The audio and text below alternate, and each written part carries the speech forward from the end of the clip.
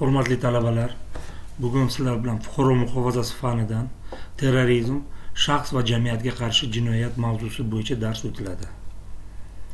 Bu darsimizga uchta o'quv savol qo'yilgan.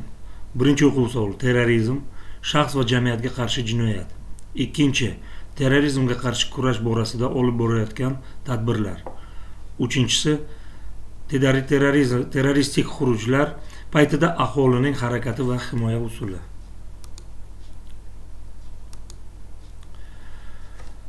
Hurmatli talabalar foydalanilgan adabiyotlar sizlarga prezentatsiya taqdim etilmoqda. Birinchi o'quv savoli savoli. Terrorizm shaxs va jamiyatga qarshi jinoyat.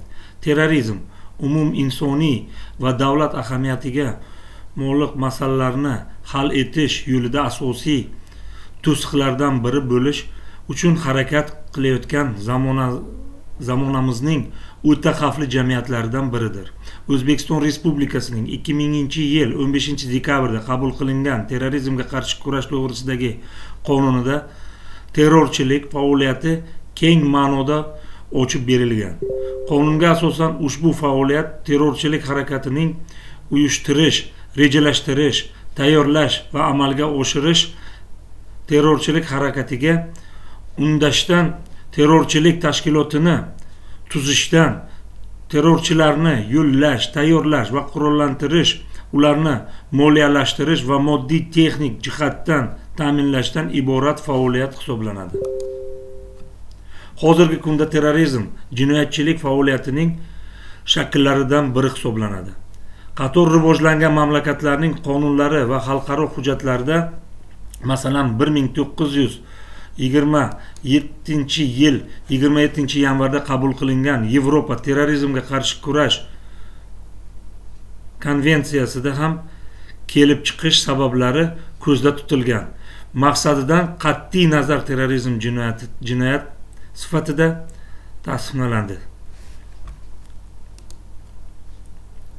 ko'plab odamlarning nobud bo'lishiga olib keluvchi infratuzilma obyektlarida va turar joy binolarida terrorchilik harakatlarining diniy amaliyotida tez tez sodir bo'layotgan o'zbekiston respublikasining aholini va hududlarini tabiiy hamda texnogen tusdagi favqulodda vaziyatlardan muhofaza qilish to'g'risida fuqaro muhofazasi to'g'risidagi qonunlarida muvofiq muhofaza tadbirlarini shoshilinch ravishda ko'rilishi terror terroristik xurujlarni oldini olish ishlariga aholining barcha tabaqalarini jalb etishni talab etmoqda.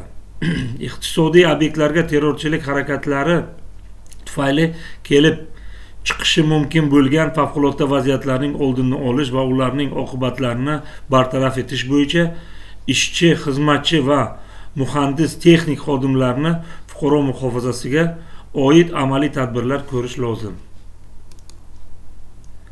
Ikkinchi o'quv savoli. Terrorizmga qarshi kurash borasida olib borayotgan tadbirlar. Mamlakatimiz birinchilardan bo'lib terror terrorchilikka va uning keltirib chiqayotgan illatlariga qarshi kurash borasida ilk bor qonun qabul qilindi. Ushbu qonunda binoan quyidagi davlat organlari terrorizmga qarshi kurashni amalga oshiradilar. O'zbekiston respublikasi davlat chegaralarini himoya qiluvchi qo'mita davlat bojxona qo'mitasi mudofaa va favqulodda vaziyatlar vazirliklari terrorizmga qarshi kurash to'g'risidagi qonunga binoan o'zbekiston respublikasi milliy xavfsiz davlat xavfsizlik xizmatiga terrorchilikka qarshi kurash olib borishda qolgan vazirliklar va qo'mitalarning terrorchilik harakatlarining oldini olish ularni aniqlash bartaraf etish va muayyan chora tadbirlar belgilashda muvofiqlashtirish vazifasi yuklatiladi. Mamlakat tinchligi uning xavfsizligini ta'minlash dasturidan kelib chiqqan holda 2005 yildan boshlab davlat chegaralarini himoya qiluvchi qo'mita davlat xavfsizlik qo'mitasi tarkibida kiritildi. 1968 yil 1995 yillarda 9 mingdan ortiq odamlar halok bo'lgan. Birinchi muhofazalanish qonun yo'li tashkiliy axborot ijtimoiy iqtisodiy miqyosi muhandislik texnik tibbiy va maxsus. Ikkinchisi kurash xalqaro davlat mahalliy obyekt. Uchinchisi tamoyillar qonunchilik shaxs huquqiy ozodligi.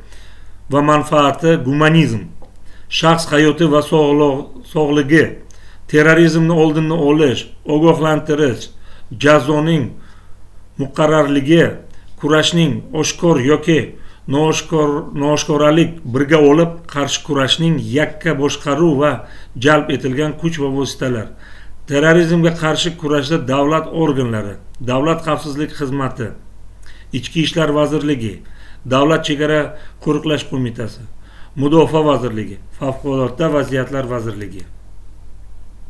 Uchinchi o'quv savol. Terroristik xurujlar paytida aholining harakati va himoya usullari.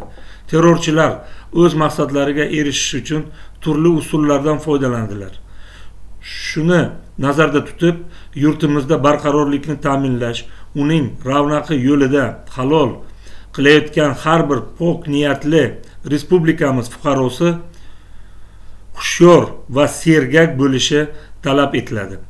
Ana shundagina sodir bo'lishi mumkin bo'lgan ko'ngilsiz voqealarning oldini olish mumkin. Har bir fuqaro ko'chada jamoat transportida bekatlarda uylar eshigi oldida ma'muriy binolarda odamlar gavjum joylarda bozorlarda do'konlarda ommaviy yig'inlar bo'ladigan joylarda garovsiz qoldirilgan transport sumka paket quti jamodan va boshqa buyumlardan e'tibor berish lozim. Ushbu buyumlar tashqi jihatidan chiroyli kishining o'ziga jalb qiladigan bo'lishi mumkin. Lekin birgina hushyorlikni unutib qilgan nojo'ya harakat o'nlab insonlarning hayotiga zomin bo'lishi mumkin. Shuning uchun shuning uchun ham ogohlikni bir zum unutmagan holda agar garovsiz yotgan buyumni jamoat transportida ko'rib qolsangiz atrofingizdagilarga kimning buyumi ekanligi so'rang. Hech kim javob bermasa darhol haydovchiga xabar bering. Ikkinchisi agar garovsiz qarovsiz yotgan buyum uyi eshigi oldida yoki yo'laklab bo'lsa qo'ni qo'shnilardan kimning buyumi ekanligini so'rang. Egasi topilmasa darhol uyingiz yaqinidagi militsiya bo'limiga xabar bering va topilmani ko'rgan vaqtingizni belgilab qo'ying. Uchinchisi agar qarovsiz yotgan buyum ma'muriy bino oldida yotgan bo'lsa darhol ma'muriyatga xabar bering. To'rtinchisi agar qarovsiz yotgan buyum bozorda yoki do'kon oldida bo'lsa zudlik bilan militsiya bo'limiga yoki ma'muriyatga xabar bering. Yuqorida aytilgan hollarda va shunga o'xshash hollarda topilgan buyumga tegish joyidan qo'zg'atish ichini ochish qat'iyan man etiladi. Shubhali buyum oldida mutaxassislar yetib kelguncha hech kimni yaqinlashtirmaslik kerak. Iloji boricha shubhali buyum atrofida to'plaganlarni uzoqroq masofaga borishni iltimos qiling yoki so'rang. Shu bilan hurmatli talabalar bugungi darsimiz o'z nihoyasiga yetdi. E'tiboringiz uchun rahmat.